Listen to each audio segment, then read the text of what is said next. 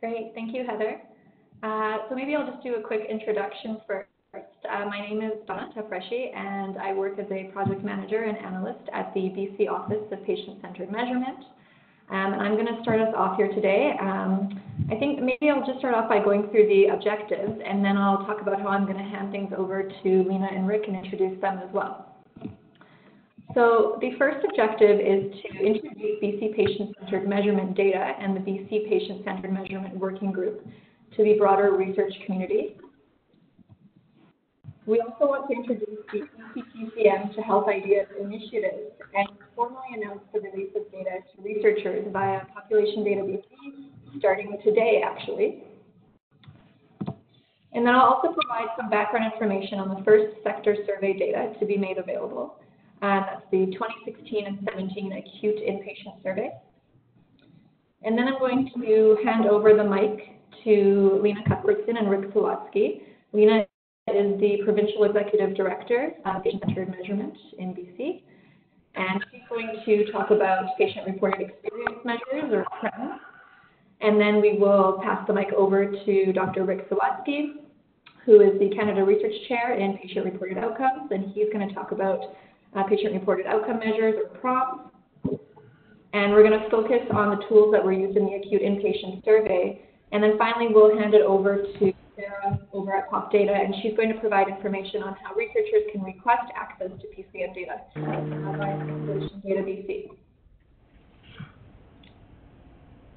So first, I'll just give a little bit of background on the BC Patient-Centered Measurement Working Group. So the working group is a joint initiative of the BC Ministry of Health, all seven BC health authorities, and their affiliate organizations.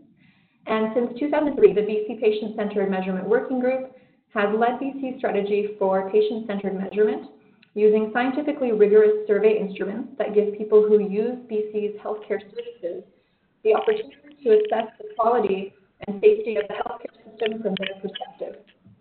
The patient self-reports of their experiences, and more recently, since 2016, their health-related quality of life and healthcare outcomes are solicited using PREMs, or patient-reported experience measures, and PROM, patient-reported outcome measures. So the mandate of the BC Patient-Centered Measurement Working Group is to develop a coordinated, cost-efficient, and scientifically rigorous provincial approach to the measurement of patient and family self-reported satisfaction experiences and outcomes in order to enhance public accountability, support QI and evaluation, and to inform research. And over the years, since 2003, we've had a number of accomplishments that we're quite proud of. So first, we've coordinated uh, province-wide surveys for 13 plus years. We've received feedback from more than 1 million users of healthcare services across 13 sectors and subsectors in all age groups. Uh, we collect both quantitative and qualitative data and report on both kinds of data. We provide practical support to make effective use of data for QI and for accountability, and we will be providing support to researchers as well going forward with the release of data in POP data. So we do public reporting, and we do also have the availability of the data to clinicians and analysts across BC uh, via an online platform called the DART, the Dynamic Analysis and Reporting Tool. And today marks the first day that the data will be available to researchers uh, in, through POP data. And that's through a collaboration with the Ministry of Health, uh, Health Ideas uh, database, which I'll talk about in a little bit. Uh, but currently, health authority analysts and Ministry of Health analysts also have access to the data through Health Ideas.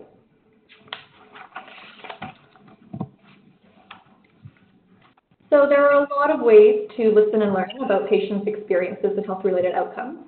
The BC uh, Patient-Centered Measurement Initiative uses a number of different... And the, result, the data was released in 2018. That is the most recent data we have available. Sorry. I think maybe somebody can just mute noise. All right. So the BC Patient-Centered Measurement Initiative uh, uses a number of different techniques uh, to listen and learn about patients' experiences and their health-related outcomes. For example, we, re we recently conducted focus groups with patients across the province to ask them what they think the role of patients are in patient-centered measurement. Um, but the data that we're introducing today focuses on one particular technique, which is the use of provincial patient-centered measurement survey data.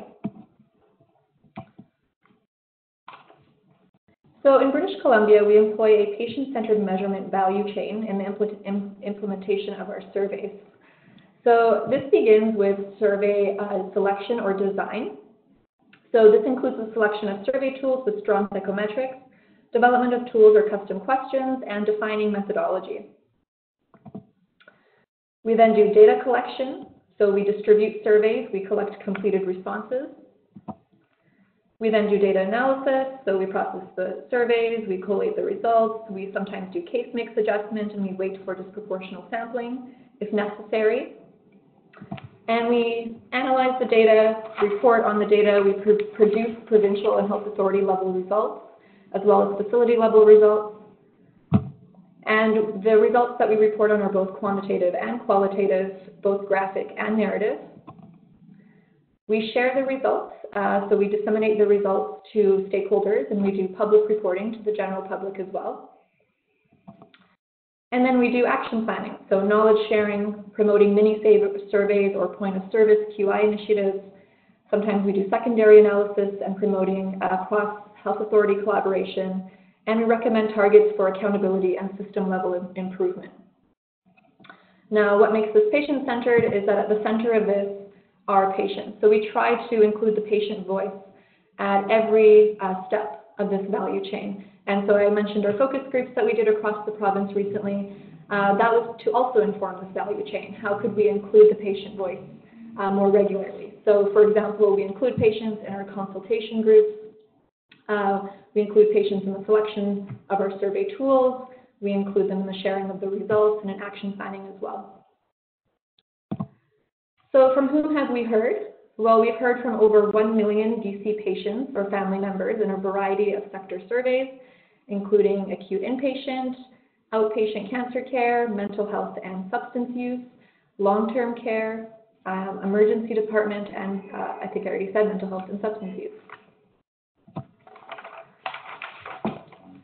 So this chart shows a summary of all the different sector surveys that we've conducted to date.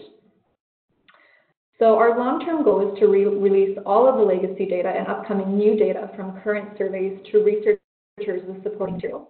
So a lot of this legacy data is already available in the Ministry of Health, uh, Health Ideas database, uh, but we will release it through POP data uh, through a phased uh, release plan. So we want to release the data when we have supporting materials and metadata available. So as you can see, we have conventionally employed point-in-time surveys, but we are moving to a model in some of our sectors that utilizes continuous surveying. Uh, many of our surveys also use mixed mode sampling methodologies, including surveying by phone and or online. And we've also conducted in-person interviews in the long-term care sector. So our upcoming surveys in 2019 include surgical services, particularly hip and knee replacement, uh, primary care, and we also have an upcoming cross-sectional blended survey uh, that uh, blends the emergency department and the acute inpatient.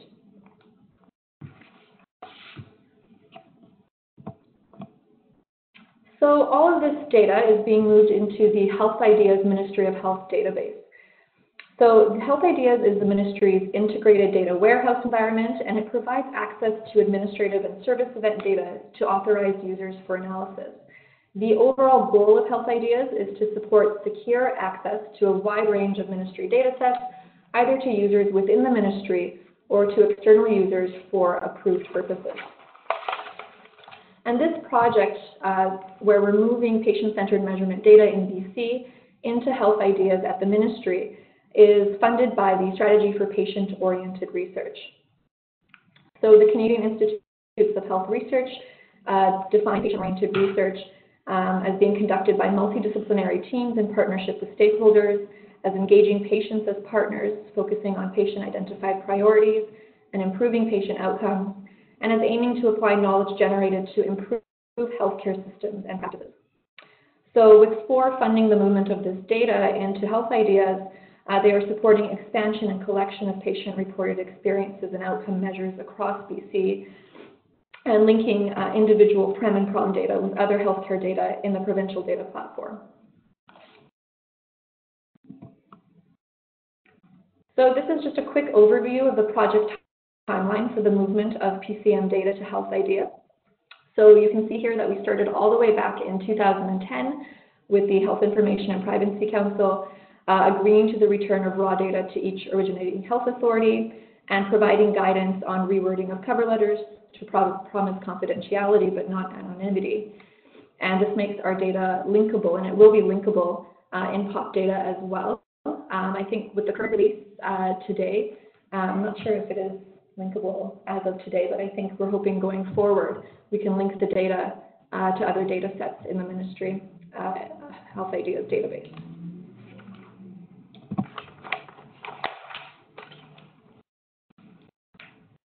So this leads us to today, uh, where researchers are obtaining access to data via POP data, beginning with the Acute IP 2016-17 sector survey, and this will be followed by the Emergency Department 2018 survey in the coming months.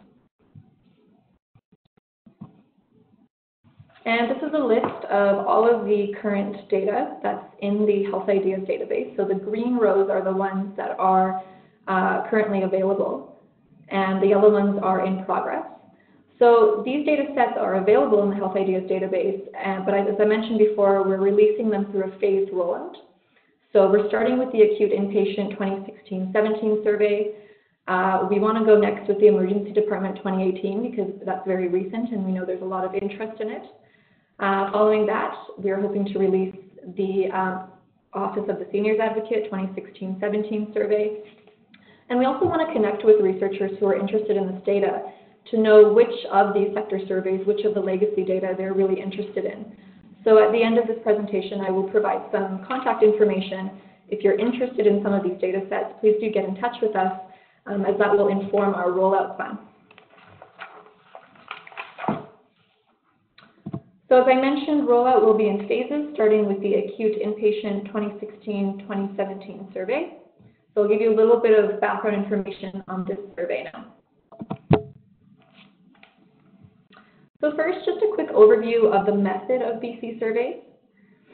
So how does how does how do we generally go about implementing a survey when we do patient-centered measurement?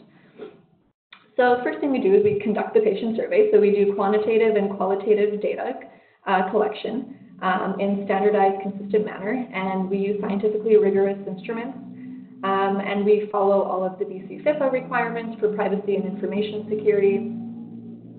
And then we do close to real time, uh, we provide close to real time access to scores via our web based reporting platform, the DART. And the data is intended for local, hospital, and unit level quality improvement. So things such as local tests of change throughout the time that the survey was in the field. Then we clean and we conduct analysis and adjustment of the data and then we publicly report provincial and health authority results. And then finally, we'll be moving the raw data with identifiers into health ideas. So at this point then, the data would be made available via POP data to researchers who then can do secondary analysis with the data.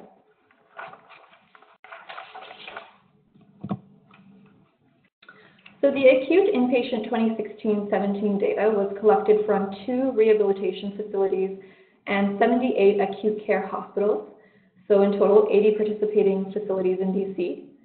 Our total sample size was 24,279 patients, and our response rate was 46.9%, about 47%. So this slide just gives you an idea of the number of respondents from the different health authorities and their response rates. So you can see we, uh, the participating health authorities were PHSA, Vancouver Coastal Health, Island Health, Fraser Health, Northern Health, and Interior.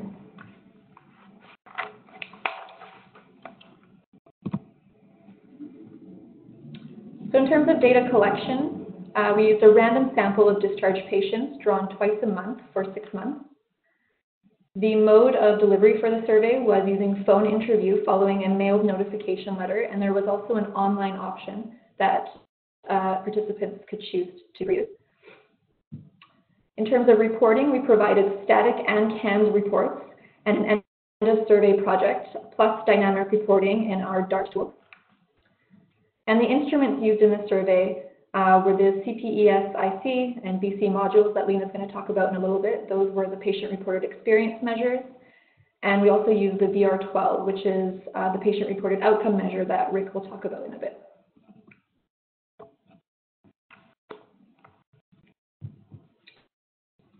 So what patients were included with the inclusion and exclusion? 不动去，我跟他，我跟他就是是 roommate，就是 so we included patients who received care in a BC acute care hospital on an inpatient basis and were discharged between September 1st, 2016 and February 28th, 2017. And then we had a number of exclusion criteria. So for example, uh, patients who passed away during their hospital stay were excluded. Uh, patients who had a day uh, surgical or ambulatory procedure uh, who were not admitted were excluded. Infants less than 10 days old were excluded. Uh, patients who passed away after discharge, if we knew about it, were also excluded.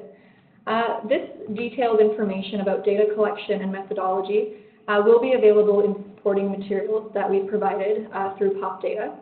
So researchers who do request access to the data will have uh, toolkits and technical reports and materials that really go into detail about all of this information.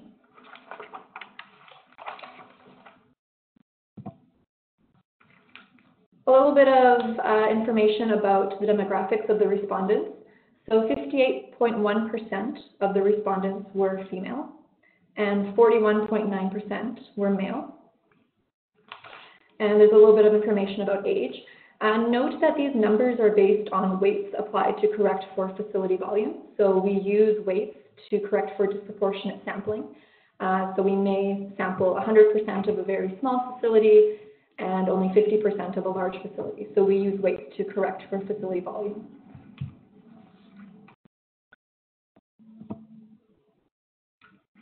Some more respondent demographics. Uh, we also ask about self-reported uh, ethnicity.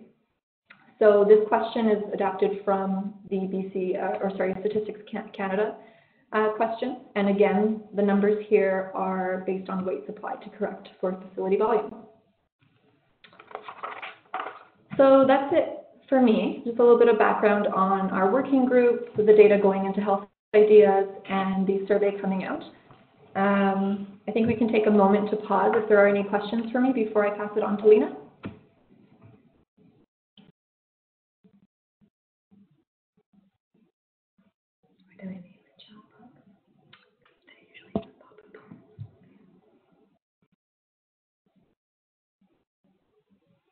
All crystal clear. Should I carry on? Okay, should we move on, Heather?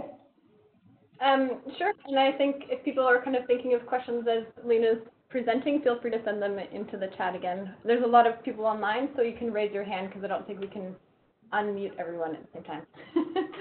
um, go ahead, Lena. Okay. So thanks, Donna. Um, so as Donna indicated, um, I've had a long-term role um, with the uh, BC Office of Patient Centered Measurement with accountability for the strategy for our um, patient-reported experience and outcome measurements. And so Donna has uh, uh, identified several different um, uh, key timeline milestone dates. So in 2003, we began our provincial initiative um, to uh, bring patient voice to the forefront. Um, in 2010, we began the discussion of making uh, data available through the Ministry Central Data Warehouse. And today, um, we're announcing the release of uh, the data to researchers. So I just want to take a, a little step back um, as uh, to look at where did where did all this start. So by way of an introduction to this work. So the language of patient-centered care was actually coined in the 1980s by the Picker Institute. And it was really the seminal work of the Picker Institute that shaped our thinking in BC about how and why we engage patients in providing their assessments of the quality and the safety of our healthcare system. And the result was the development of a strategy for BC, which, as Donna indicated, started in 2003 that really made a statement that said, we value um, and we will measure the uh, patient perspective. And we were definitely ahead of our time because in 2017, the ministers of health from the Organization for Economic Cooperation and Development, the OECD countries, met in Paris, and the outcome of that meeting was the following statement. They said, we need to invest in measures that will help us to assess whether our health systems deliver what matters to patients. This is a really strong statement based on the conclusion that our reliance on mortality rates and clinical indicators to assess the quality and the safety of our healthcare system gives a very important but only a partial view of the value of healthcare. We know that what people really care about is the impact of our healthcare services on their well-being and their ability to play an active role in their lives and in society. And that's what we should be measuring. Not instead of the clinical indicators, but rather in addition to clinical indicators. So what you see here in this schematic is an attempt for us to be able to demonstrate that we value both. But with the important caveat that the only way to measure what matters to patients is to ask patients, and in some cases, again, as the schematic indicates, their family members and or their family caregivers, but we have to ask them directly. So a major program of work on patient-generated and patient-reported indicators of health system performance is now underway internationally. The OECD has persuaded 19 countries to adopt a common set of PREM indicators to enable comparisons. And I'm really pleased that our work in BC began long before the Paris Accord was even a twinkle in the eyes of our international health ministers. What is good news is that patient-reported experience measures, PREMs, and patient-reported outcome measures, PROMs, seem to seem to become have seemed to become the new currency for comparative performance assessment, and they have an equally or perhaps arguably an even more important role in clinical care. So patient experience surveys, or PREMs, ask patients, how is the care you are receiving? They elicit feedback on the process or the processes of care rather than on its effects. They focus question lines on issues such as communication with healthcare professionals, provision of information, involvement in decisions, physical comfort, which usually uh, refers to pain control, emotional support, and care transition. Achieving benefit from this resource requires well-designed questionnaires as well as a commitment to act on the results. PROMs ask patients, how are you doing?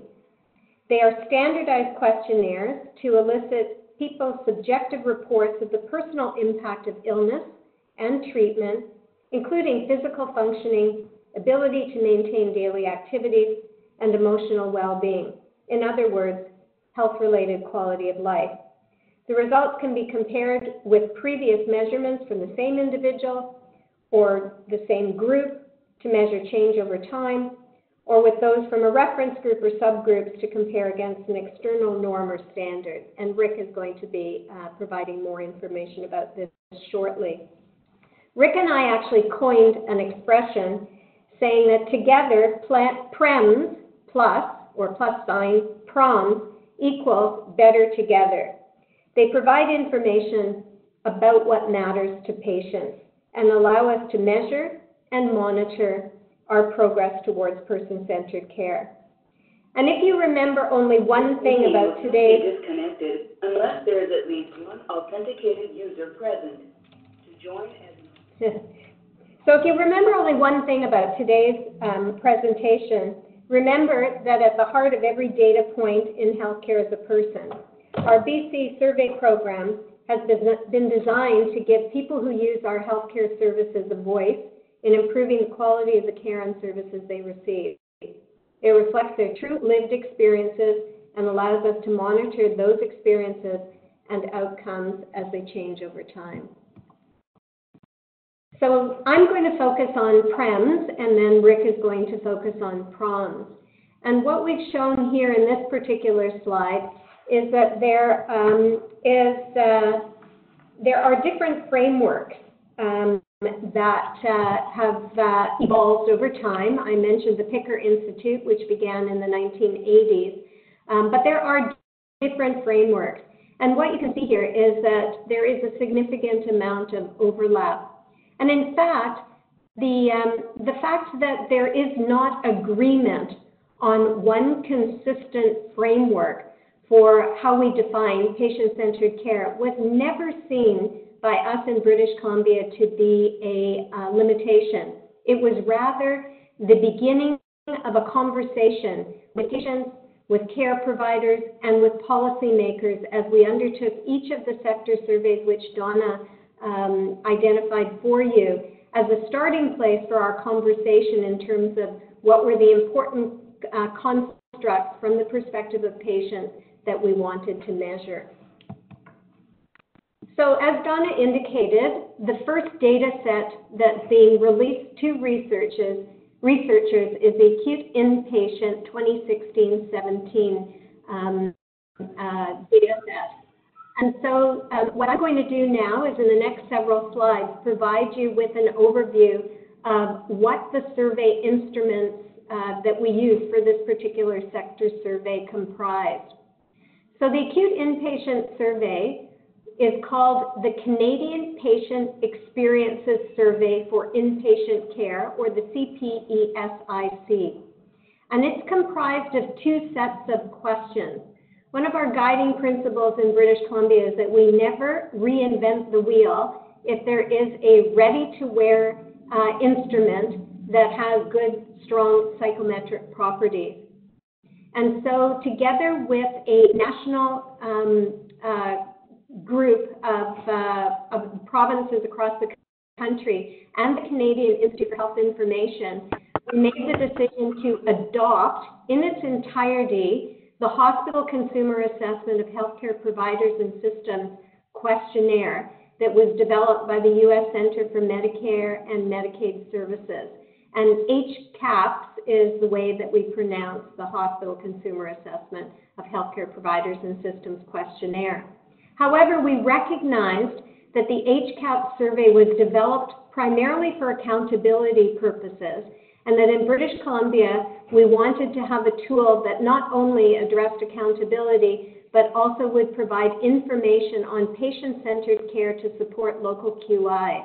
And so together across the country with CIHI, we developed Canadian content, and we included representation from Accreditation Canada patients representing the Canadian Patient Safety Institute, the Change Foundation, Statistic Canada, a professor from the University of Toronto, Dr. Michael Murray, for analytical support, and we engaged an international panel of experts. Of importance is the fact that both the CPESIC and the HCAHPS, which is now embedded within the CPESIC, is the fact that both these instruments are in the public domain and are free for your use. The HCAHPS content um, of the CPESIC includes 32 questions. Uh, seven of those questions are demographic questions, and 25 of those questions are the core questions, which um, include 21 evaluative questions, and uh, I can't even see what the four is there, um, but um, oops, the four, oh, screeners. So those are gateway questions. So uh, patients skip questions if the uh, four screeners don't um, apply to them. And so what you can see on this slide is that the HCAHPS questions have been organized into seven composite measures. The composite measures uh, typically are several questions that make up these uh, particular um, uh, dimensions or domains um, as well as two individual items and two global items, which are global rating. The Canadian content of the CPE-SIC um, similarly has questions that uh, have been organized into dimensions, which are composites, as well as uh, uh, demographic items. We have, as Donna indicated, adopted uh, Statistics Canada's uh, self-reported uh, ethnicity question, which is used on the Census Canada questionnaire, as well as two global rating questions. And as I indicated, the Canadian additional questions and dimensions focus on patient perspectives related to the dimensions of patient-centered care. In addition, in British Columbia over time, um, we have developed uh, Made in BC content, and these are included in the survey instruments that we use across sectors. And in this particular sector, we've included a maternity module that was developed um, in order to be able to report some uh, questions of particular interest uh, to women who entered acute care hospital and had an inpatient stay due to a childbirth experience. We included a surgical module, so again, patients that were admitted um, through um, either an elective or an emergency admission for a surgical operation or procedure, a pediatrics module for patients that were seen at BC Children's Hospital or on a pediatric unit or in a pediatric bed in an acute care um, hospital stay, a rehab module that was fielded with patients who were in a designated rehab bed or in a freestanding rehab facility.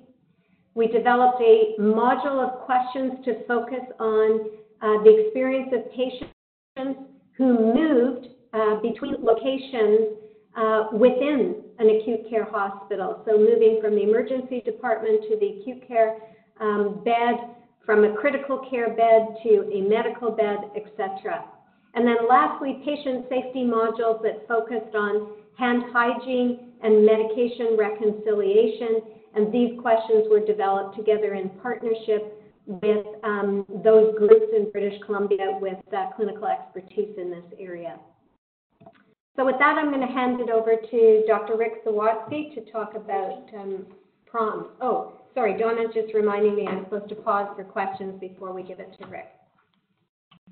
Uh, that's right. And actually, um, Donna, I did receive a couple questions for you, and if anyone has questions for Lee, you can send them into the chat box. But Donna, um, if you have a moment, maybe you could answer um, a couple of these, uh, and then we'll see how we're doing on time. The first one was from Colleen McGavin from the BC Support Unit, and she asked, um, she said, Donna mentioned effective use of data. Can she provide some concrete examples just to put some flesh on that statement? Uh, is, refer, is that referring to the value chain where we talk about action planning, I think? That's a good question. Colleen, you can um, unmute your mic if you would like to clarify.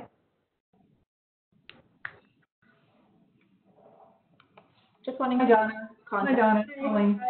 Yeah, there was just, um, in your, in your part of the talk, uh, a comment about how the uh, data has been used effectively. And so I was just curious if you could provide any examples of how that's been used, either in a health authority setting, a hospital setting, whatever, um, to, I would assume for quality improvement initiatives, like are you aware of any examples of how it's actually been used?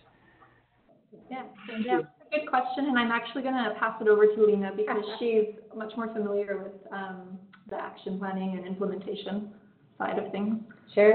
Yeah. Um, so I'm going to give two examples, uh, Colleen. One is Donna referred to the mini toolkits uh, that we've developed. Uh, so one example is the mental health and substance use sector um, survey that uh, we uh, conducted in British Columbia. And at the end of that survey, we developed a mechanism for the participating uh, sites to be able to use, do ongoing data collection in order to inform what were priorities uh, rising from the survey in their local areas. So we assisted them with the interpretation of the results, looking at what was uh, important from um, the perspective of their patients, and then we developed the tools for them to be able to field the survey on an ongoing basis to look at that, that information in order to inform local tests of change. So that's one example. The second example that I would give is one that has actually been getting quite a lot of traction in British Columbia, across Canada, and even internationally now, and that is the work that we did on um, fielding questions with patients who had uh, intravenous therapy. So they received an, uh, an IV uh, during their hospital stay. And uh, what we did was we reported on the results of uh, those uh, questions that related to IV therapy on a weekly basis. And we reported that to a group of clinicians and patients who had worked with us to develop the module of questions. And we then um, made decisions about tests of change which were fielded in three specific um, hospitals during the time that we were still in field, and uh, we made uh, changes to the processes of care in real time while the survey was in field over a three month period of time. And the specific questions that we focused on were um, whether patients were given information about when to call their nurses when they experience certain symptoms with their uh, intravenous therapy. And so in real time, we made uh, tests of change related to that with a laminated card that was given to patients, and we were able to track the effectiveness of that intervention based on the patient voice throughout the time that we were in the field. So those are just a couple of examples. Great. Uh, I'll put forward another question that I received again from Colleen. Donna also mentioned that there has been the patient voice at every step. Can you describe how that looks aside from patients completing surveys or doing interviews? Uh, did you have patient partners on the working group? Yes, um, I'm just pulling up the value chain. You want to Oh, speak to that? sure, I can- I think you want to speak to it. Sure, I can speak to it. So, uh, Colleen, we have uh, patients who sit on our provincial sort of steering committee or working group, as it's called. Um, and uh, we also engage uh, patients at our consultation groups.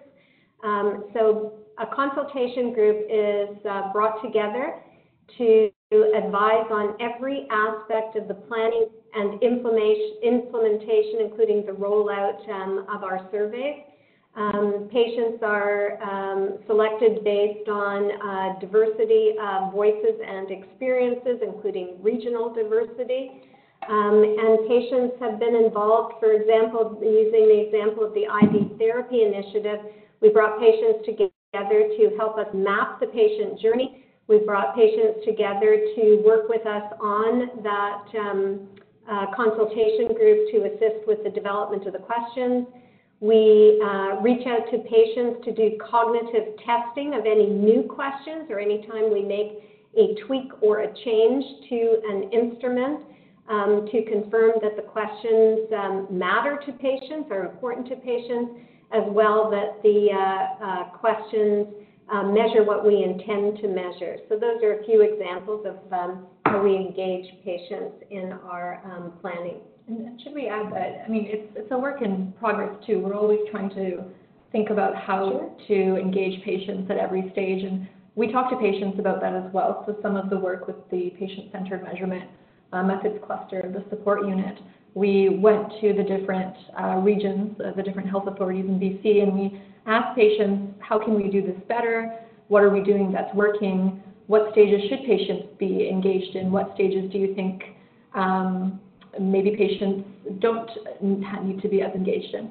So I think uh, it's also a work in, in progress as well. Great. Thanks very much uh, to both of you. So I think we're going to turn it over to Rick at this point. Is that correct? Yes. Great. Yep, thank you. Um, and thanks for this um, introduction, Donna and uh, Lena. So I'm going to add to this conversation by focusing, uh, providing a bit of a background and introduction to patient-reported outcome measures um, that are included in several of the surveys conducted by the Office of Patient-Centered Measurement. Um, and as introduced by Lena, um, whereas patient-reported experience measures focus on how the care is provided. So from a Donabedian perspective, they focus on process of care mostly. Uh, patient uh, reported outcome measures focus more on uh, how people are doing in terms of their own self-perceived health and quality of life. So they focus on outcomes of care from the patient's point of view. And historically, PROMs have also been referred to as measures of health-related quality of life. So we're thinking of health here quite broadly.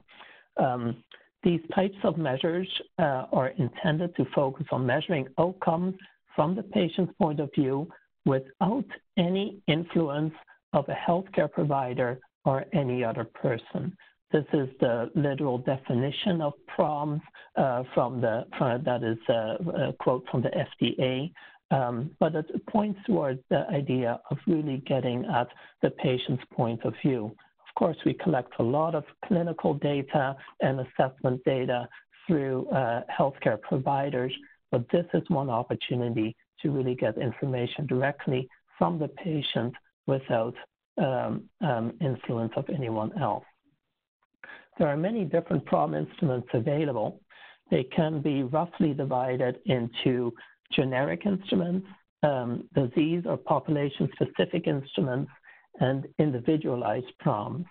And for the Office of Patient Centered Measurement Surveys, the focus has thus far been on generic PROMs, which are broadly applicable to most people, irrespective of the particular disease or type of healthcare received. The slide you are looking at right now provides a description of nine of the most commonly used generic PROM instruments. And um, it's presented here to give you a little bit of an overview of what these instruments typically measure.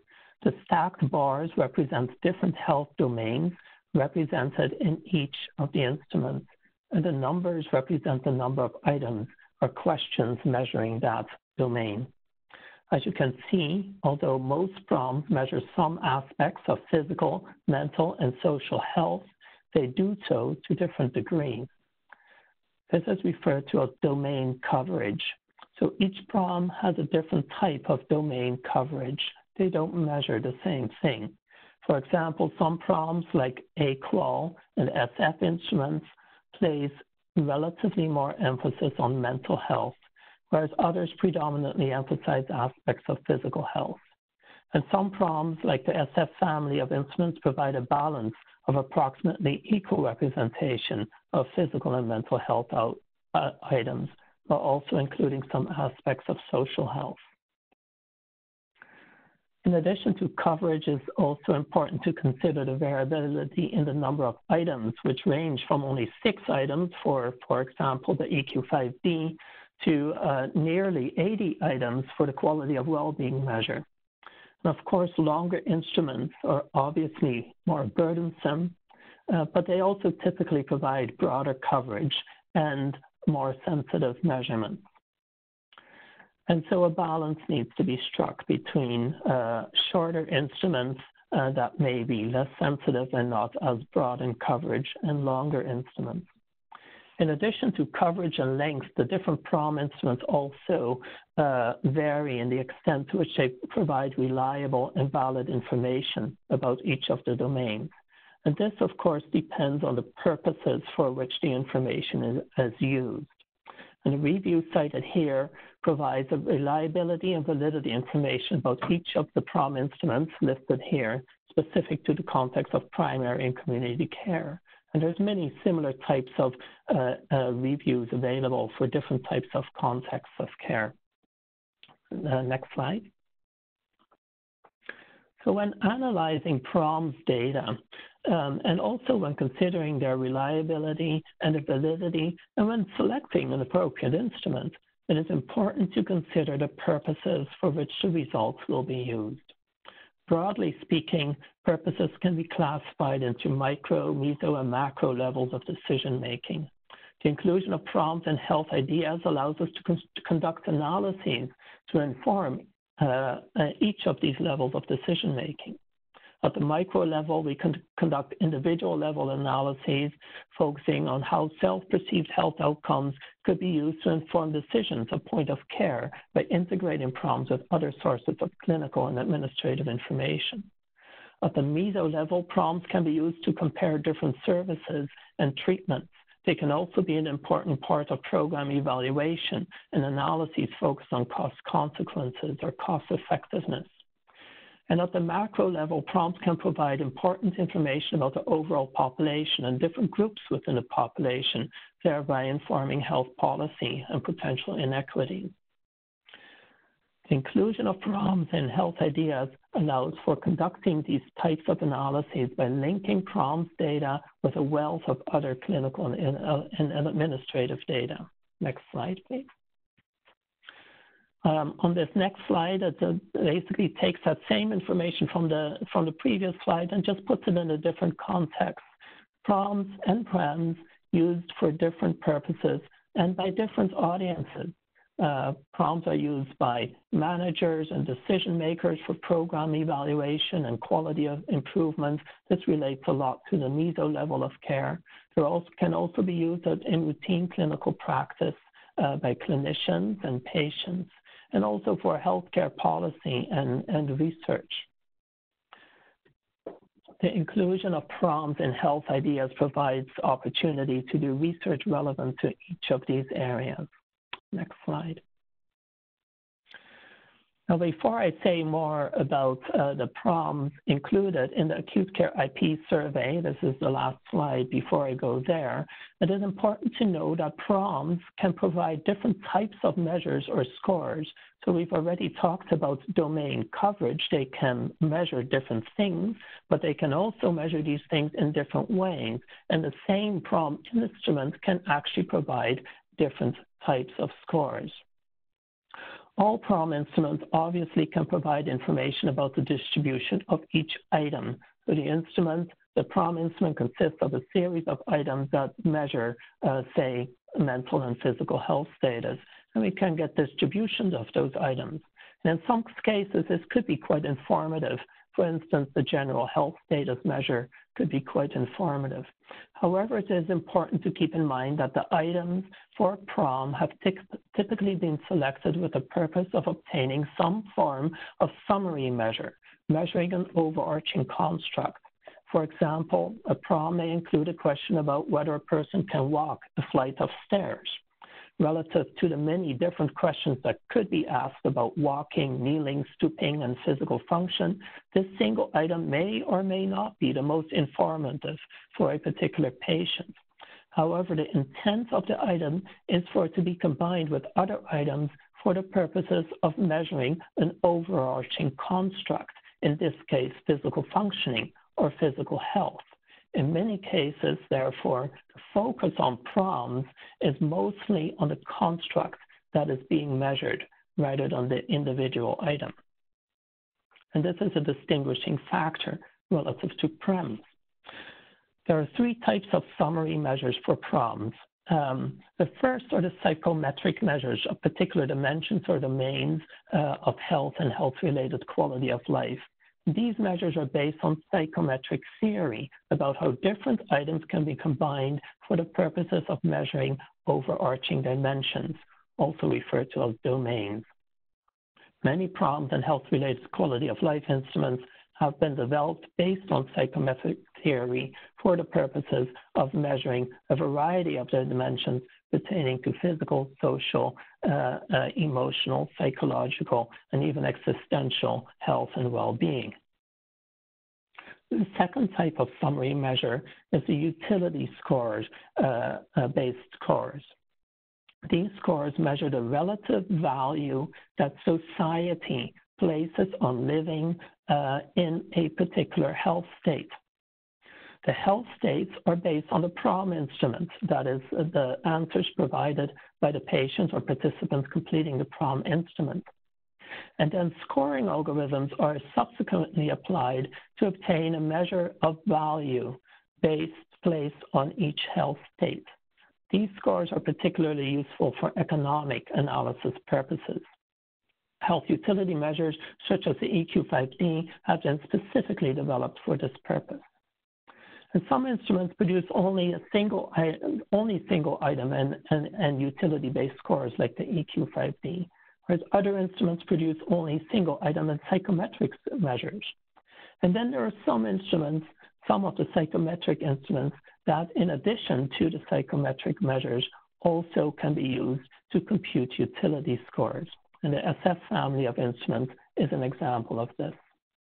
And then finally, the third type of score, summary score, has to do with norm-based scoring, which population norms are developed to allow for comparisons with a particular reference group, such as the general population or any particular group within that population. Next slide. So for the um, uh, uh, acute care sector, inpatient sector survey, we have uh, included the Veterans RAND 12 item instrument. This instrument measures eight different health domains, including role limitations, physical, role limitations, emotional, bodily pain, energy, fatigue, social functioning, mental health, general health, and physical functioning. It is a multidimensional psychometric, psychometrically developed tool. Next one. The VR12 is part of the SF family of instruments, or is often referred to as the SF family of instruments, uh, which was based on the medical outcomes uh, study completed in the, in the 1980s. The SF36 uh, was the original instrument that arose from that, and it was available in 19, uh, became available in 1990. And there have been several versions since. One of the versions, uh, revisions of the SF36 is the VR36. VR stands for Veterans RAND, and it was developed um, to increase sensitivity in the scoring by adding some response options and also changing a, a few of the, the questions, the, the terminology used in, in a, a few of the questions so as to make it more current. And more recently, uh, a shorter version has been developed of the VR36 called the VR12, and it's simply to provide more efficient form of measurement. The VR instruments are uh, almost identical to the SF uh, version 2 instruments. Uh, the only difference, uh, well, not the only difference, but the main difference being that the VR 12 and 36 are freely available for use, whereas the SF36 and uh, SF12 version 2 are proprietary and require a fee. Uh, next slide. Um, oh, we just skipped a slide, just one back there, please. So um, here you can see how the items are organized into different scales and uh, um, summary scores.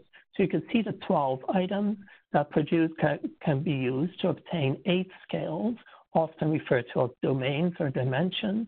And those eight scales can then be summarized into two overarching physical and mental health component scales. Next slide. Here you can then see the distribution of items. There's actually 14 items. 12 of the items are used for the scoring of these domains. And then there's two items at the bottom there that measure change in physical and mental health status. And you could see that each item, uh, different items have different types of response options, some going from excellent to poor, some using more frequency type of response options, such as none, a little, some, most, or all of the time. And then, of course, the change questions asking people to compare to a previous state. Next slide. So those summary scores, as mentioned, can be summarized, uh, or those items can be summarized into eight health domains. Those are often scored from zero to 100. Um, and they're often representative profiles that are particularly useful for comparing across different domains. There's different ways of scoring these uh, dimensions or domains. Um, what we've used here is the extensibility scoring algorithms provided by the developers, uh, Selim and Kazis and his team, uh, which allow for um, comparison with the original SF36 scores. So the scores, can, they produce comparable scores. The next slide. And then there is the, um, the component scores, like I mentioned. These are often um, referred to as, uh, as um, um, or scaled on a normative uh, scale with a population mean of 50 and a standard deviation of 10. And so this is just a different way of uh, for normative comparisons. Um, as also a scale provided by the VR12. And then finally, as I mentioned, there's the utility-based scores. Utility-based scores uh, refer to health state valuations that represent relative value that society places on living and health states defined by responses to the VR12 questions. These are particularly useful for economic purposes. They range from zero to 100, where 100 is a perfectly valued health state, and zero is considered to be equal to death, and less than lower than zero is considered to be worse than death. So that concludes the introduction to PROMs. Thank you. Uh, thanks so much, Rick. Um, that's a lot of great information in there. So Sarah, uh, because we just have a couple minutes left, I'll let you quickly go through your slides. Okay, great, thank you. So, um, hi everyone, my name is Sarah Kesselring and I am a project coordinator with Population Data BC. Um, I'm just giving a short overview of POP data and how you can access the acute inpatient survey through us. Um, so Population Data BC is an organization that facilitates research on health, well-being, and development. Um, researchers can request a broad range of data sets through POP data, including now the acute inpatient survey. Um, a snapshot of the other data that researchers can request access to via POP data is shown here on the slide. Um, can you switch to my next slide? Thank you. Um, so to apply for data, researchers need to complete POP Data's online data access request form that researchers can access through our website. Um, you'll need a POP Data account to complete this form, and a link to where you can register for an account if you don't have one already is included on my final slide.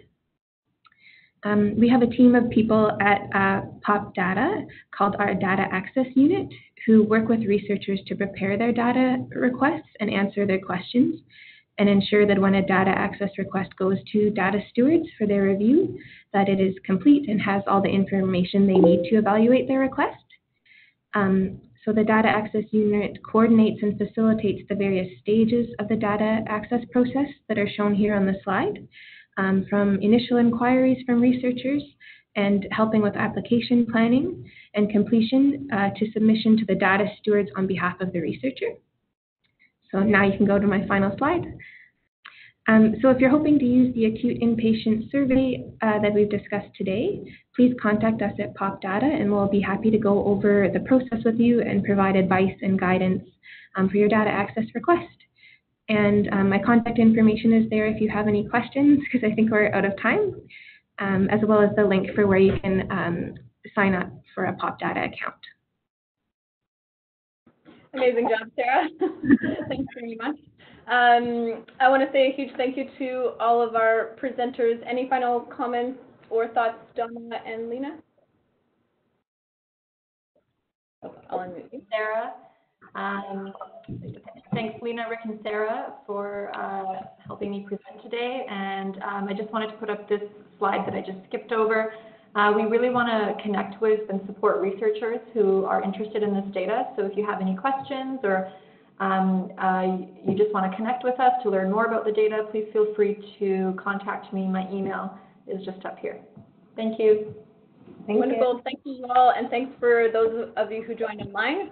Um, we have our next session uh, of a webinar on January 30th, so I hope you can join us. Thank you. Bye. Bye.